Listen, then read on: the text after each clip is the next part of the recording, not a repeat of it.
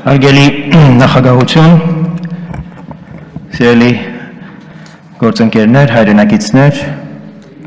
2020 թվականի ֆինանսական այս կարևոր փաստաթղթի մասին մենք արդեն հասցրինք տարբեր որակումներ լսել, լավ, վատ, բայց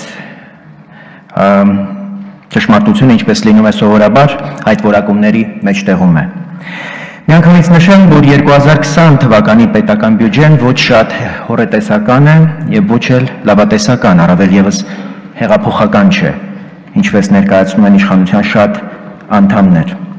Ցավով պետք է արձանագրել, որ 2020 թվականի պետական բյուջեի նախագիծն իր մեջ մեծապես կրում է իներցիայի շունչը, բազմաթիվ հոդվածներով ու ուղղություններով ֆինանսավորումն ընդամենը նպատակ ունի ապահովելու նախկին իներցիայի շարունակականությունը։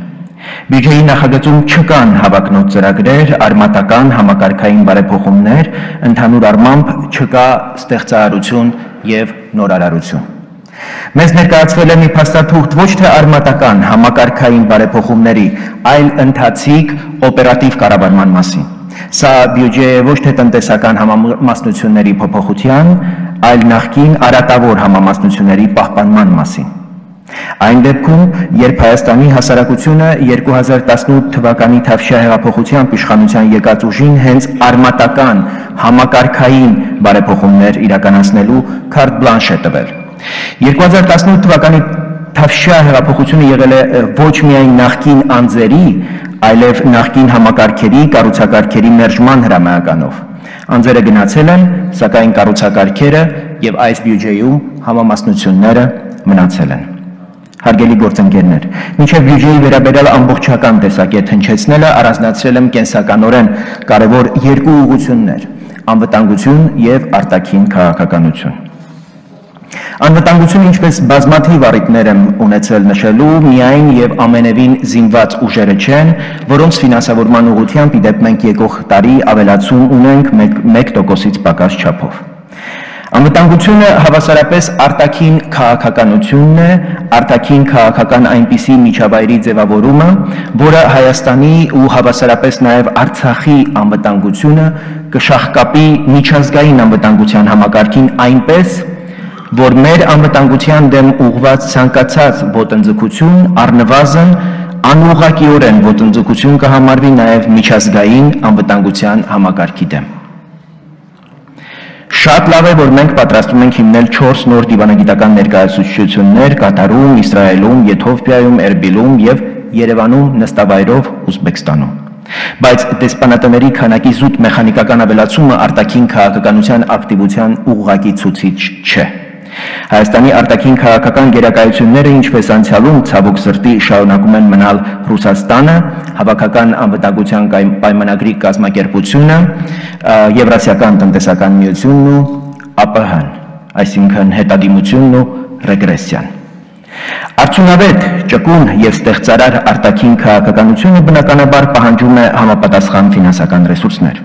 Հասկանալի է, որ արտաքին քաղաքականությունը միայն ֆինանսավորումը չէ, սակայն ֆինանսավորումը չափազանց կարևոր է որակյալ արտաքին քաղաքականության համար։ Մենք պետք է մտածենք արտերկրում աշխատող մեր դիվանագիտների սոցիալական կարիքների բավարարման, նրանց վարձատրության հետևողական աճի մասին։ 2020 թվականի պետական բյուջեում այդ առումով էական փոփոխություններ չկան, մինչդեռ քիչ վարձատրվող եւ սոցիալական խնդիրներ ունեցող դիվանագետները չեն կարող արդյունավետորեն ներկայացնել մեր պետությունը,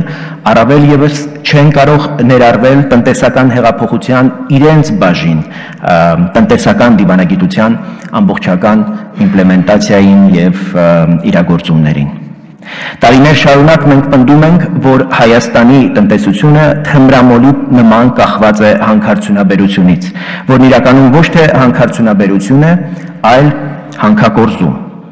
Այս փաստաթուղթը մեզ պետք է հուշեր, որ իշխանությունը պատրաստվում է արմատապես վերանայել, փոփոխել հին տնտեսական համամասնությունները նորերով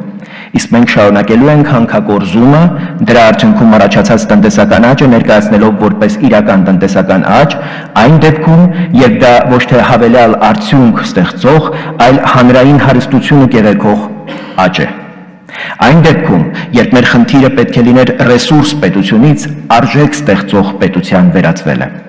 Սա գաղափարաբանական, փիլիսոփայական դրույթ է, որի առարկայական արտահայտությունները մենք պետք է տեսնեինք պետության քաղաքականությունն արտացոլող փաստաթղթերում եւ առաջին հերթին հենց այս ֆինանսական փաստաթղթում։ Հարգելի գործընկերներ, վերջին մի քանի ամիսներին ես բարբերաբար այցելում եմ սահմանամերձ սահմանապահ բնակավայրեր եւ բավականաչափ մոտիկից պատկերացում ունեմ այդ տարածքների դրանց բնակչության հիմնախնդիրների մասին։ Ուրախությամբ պետք է արձանագրել, որ Թավշյա հեղափոխությունից հետո կառավարությունը հետևողականորեն իրականացնում է խոշորածավալ ճանապարհաշինական ծրագրեր նաև սահմանամերձ բնակավայրերում, ինչը կենսական անվտանգային նշանակություն ունի այդ տարածքների ու դրա բնակիչների համար։ Սակայն լավ ճանապարհները չեն կարող եւ չպետք է ինքնանպատակ լինեն։ Դրանք պետք է ծառայեն սահմանամերձ բնակավայրերի բնակիչների կենսապահովման խնդիրների լուծմանը։ Իսկ դրան հասնելու ամենաարդյունավետ եղանակը ահա այդ ճանապարհ այդ ճանապարհների հիմքի վրա սահմանամերձ բնակավայրերում համապատասխան լոգիստիկ ենթակառուցվածքների ստեղծումն է։ Ենթակառուցվածքային ներդրումները ունեն ոչ միայն սոցիալ-տնտեսական նշանակություն, այլ հատկապես սահմանամերձ բնակավայրերի պարագայում ազգային անվտանգության կարևորություն։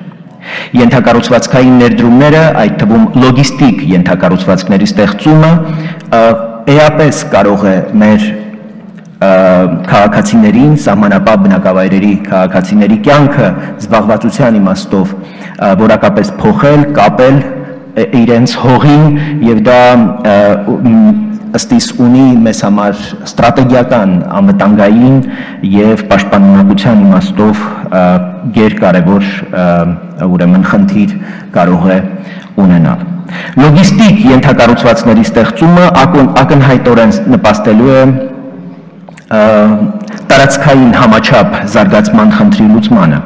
Առանց տնտեսական ենթակառուցվածքների մենք չենք կարող մտածել տարածքային համաչափ զարգացման մասին, իսկ տնտեսական այդպիսի ենթակառուցվածքները կարող են արդյունավետ լինել միայն այն դեպքում, երբ ապահովվում է գյուղ շուկա շղթան։ Ցավոք 2020 թվականի պետական բյուջեում նման ենթակառուցվածքային ներդրումների մասին որևէ հիշատակում չկա։ Հայաստանում այո, այսօր մենաշնորներ չկան կամ գոնե արտաքուշ չկան։ Ավել կամ պակաս չափով վերածվել են օլիգոպոլիաները, գործում է ազատ տնտեսական մրցակցություն։ Այդ փոփոխությունները սակայն առայժմ շոշափելի փոփոխություններ չեն արձանագրել, որտեղ այդ արատավոր երևույթները վերացնելու զատ մեզ անհրաժեշտ էր նաև դրանց փոխարեն առաջացած տարածությունը, անջրպետը լցնել նորով, նոր տնտեսական հարաբերություններով, նոր ձեռներեցությամբ լցնելու ռազմավարությունը, որը ավաղ մենք չենք արել։ Մենք անդադար խոսում ենք կրթության եւ գիտության կարեւորության, այսպես կոչված մարդկային կապիտալում ներդրումների անհրաժեշտության մասին, սակայն խոսքից գործ գործի չենք անցնում եւ կոնկրետ գործերով դրանք չեն ուրեմն առանձնանում։ Եվ արդյունքում մենք շարունակում ենք ապրել այն իրողությունների պայմաններում, երբ պատկերավոր ասած խոշոր կապիտալը ոչ թե համալսարաններ է կառուցում, այլ շարունակում է մեգամոլեր, աուտլետեր կառուցել եւ այդ ամենը քաղաքական իշխանության հովանու ներքո։ Վարչապետ Նիկոլ Փաշինյանը այս տարվա օգոստոսին Ստեփանակերտում հրճակեց 2050 թվականի համար մի քանի կարևորագույն համահայկական նպատակներ Դրա դրանց իրագործման հիմքերը պետք է դրվեին հենց այս բյուջեում այսօր, նաև ամեն տարվա պետական բյուջեում։ Միջդեռ այս փաստաթուղթը որևէ աղերս չունի հրճակված այդ նպատակների հետ։ Այս փաստաթուղթը հեղափոխական կառավարության ներկայացրած պահպանողական պետական բյուջե է, ինչ